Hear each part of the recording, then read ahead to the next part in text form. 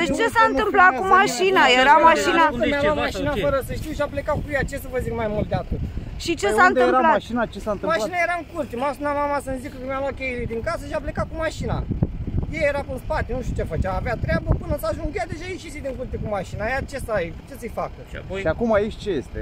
Păi, uitați-vă și dumneavoastră, ce, ce să fac acum? Nu știu ce să vă zic.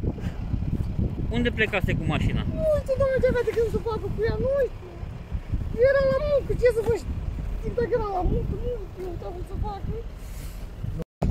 Din primele cercetări se pare că un conducător auto de 24 de ani din Zmeni circula pe direcția Zmeni către Buzău și a intrat în coliziune cu un auto aparținând inspectoratului pentru situații de urgență Buzău, care circula din direcție opusă.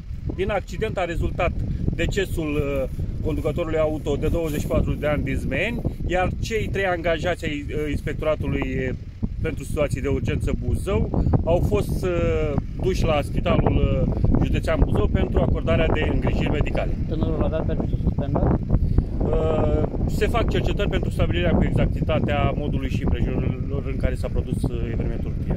Furase mașina, știți dacă era mașina lui sau a altcuiva? Și din acest punct de vedere se fac cercetări.